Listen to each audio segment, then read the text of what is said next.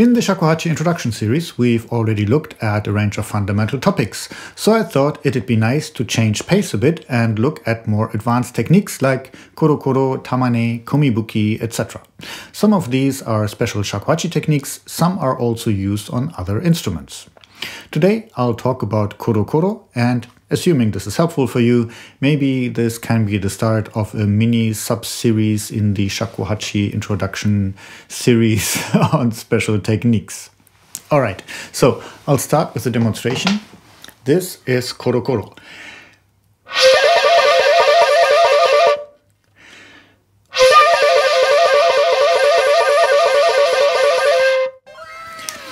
It is often said that korokoro imitates the sound of cranes, and it's true that this technique is used a lot in the family of tsuru no sugomori pieces, so the nesting of the cranes pieces. And listening to it, it's easy to make the connection to the call of cranes. However, korokoro is not exclusive to these pieces, it is used in other pieces too. It has a reputation of being extremely difficult. Maybe you already heard the Japanese saying, kubi furi san nen. It takes three years to shake your head, meaning it takes three years to learn to properly to do a kubi furi head vibrato. Often the reply to this statement is koro hachi nen.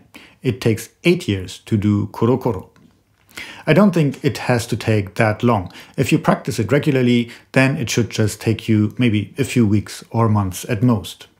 So let's look at this technique and how to practice it. Let's start with the pitch and the fingering of ko. Ko has the same pitch as re. So this is re, this is ko.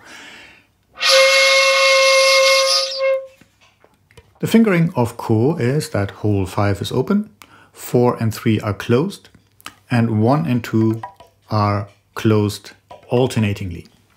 So,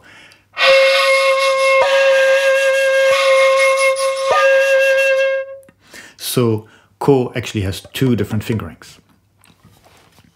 When you compare closing holes 1 and 2, you will notice that this produces different pitches.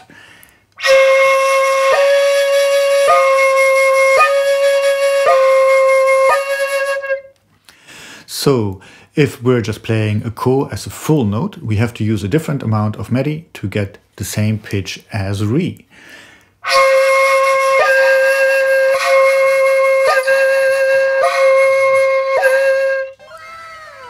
I also should have mentioned that to play ko at re pitch, you have to play it in a meri position. So just doing this is not enough to get to re pitch you also have to play meri.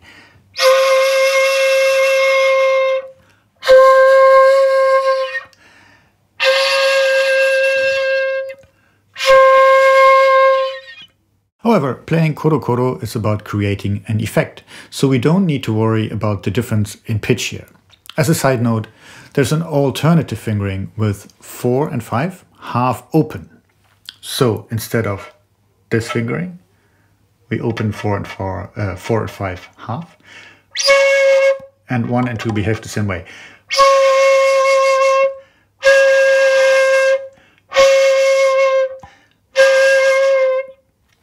It sounds a bit different, so the tone color is a bit different.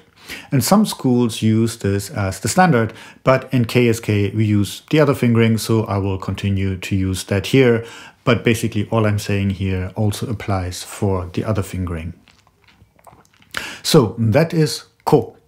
Koro koro means to swap between the two ko, opening holes 1 and 2 in turn.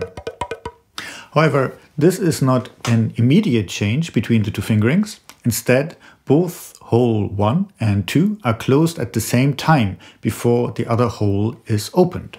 So,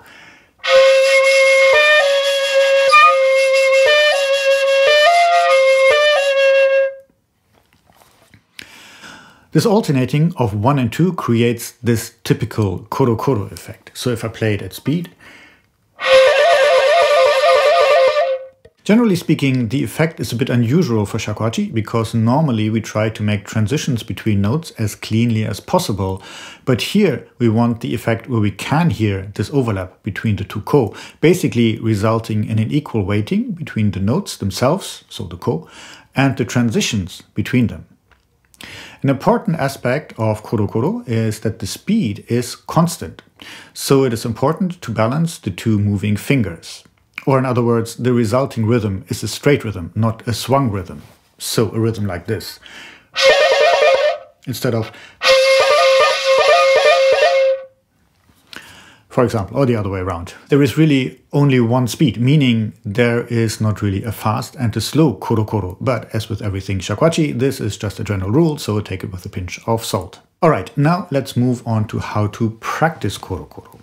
Different teachers have different approaches, and as always, I'm not saying that this is the only or maybe even the best way, but this is the way I found that worked best for me. The first thing to do is to slowly change between the two ko and to learn how the transitions sound. So,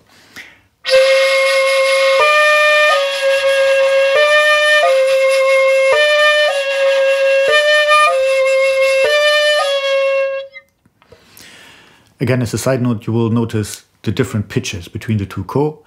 For practice purposes, that's totally fine. When you do it this slowly, pay attention to the in-between sound. So,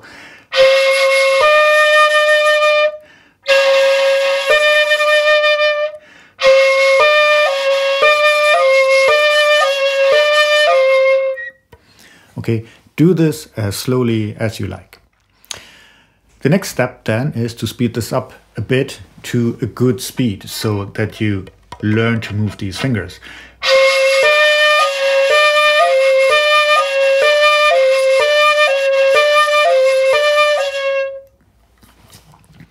This is what I call the one change exercise.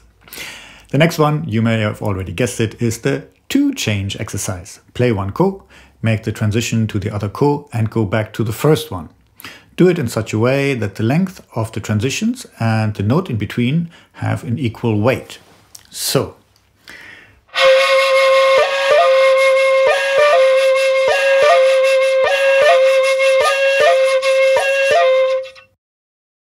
Once you get the hang of this, do the same exercise, but start on the other ko. So just now I started with this ko. Now start with the other ko first.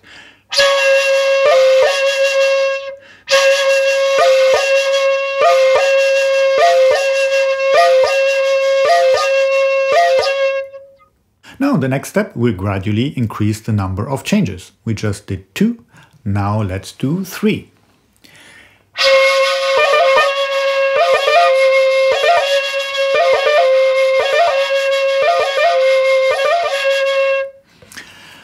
Apologies, the demonstrations are on, aren't always the best, but uh, it's just a bit awkward playing in this position so you can see it in the camera. That's my excuse anyway. You always need to have an excuse, I think, for everything in life. It makes life so much easier. As you may have already noticed, there is a pattern here.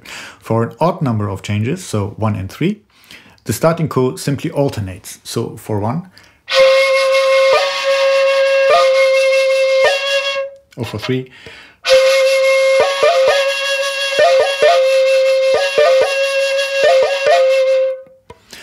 However, if we have an even number of changes, we have to do two exercises for each ko. So, yeah, we always go back to the same ko. So we have to do a separate exercise where we start with the other ko.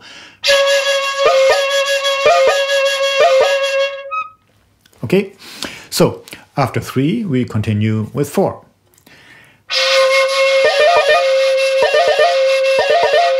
Again, starting with the other ko. Then we do five.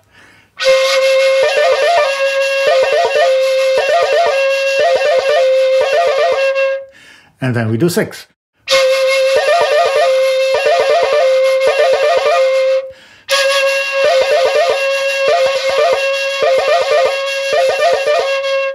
Once you're comfortable with six transitions, it's usually possible to keep the korokoro just going indefinitely until your breath runs out, of course.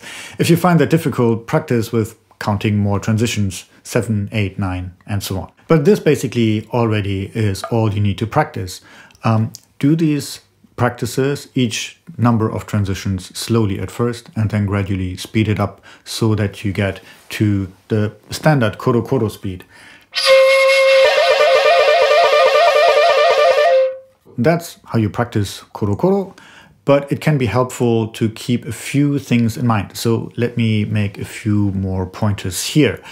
Koro koro sounds much faster than it really is, whatever reality really is. Welcome to the real world.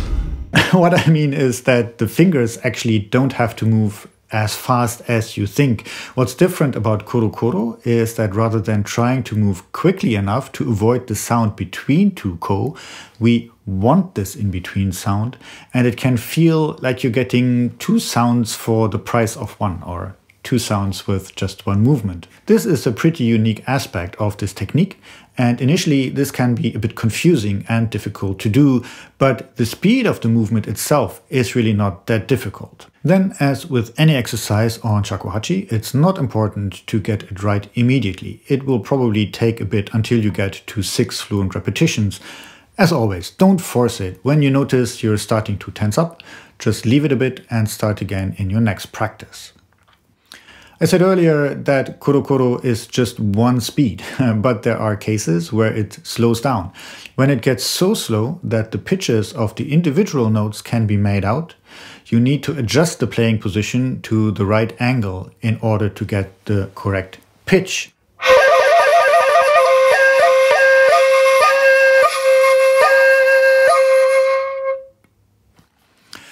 This aspect about the pitch is especially true when you stop on one note of the two-ko and hold the note before going to the next note. So take care to adjust to the correct pitch to the correct meri position.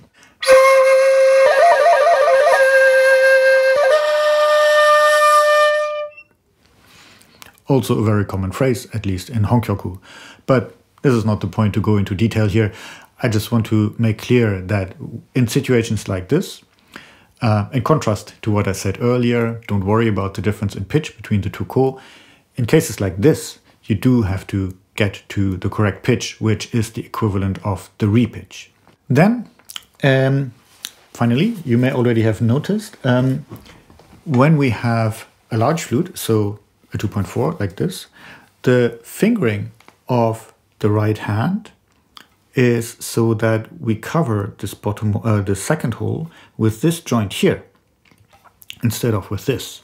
So for a technique like Koro Koro, um, it doesn't change the technique itself, but it gets a, it takes a bit of time to get used to using this joint here instead of this joint, right? But the Koro Koro just works the same. So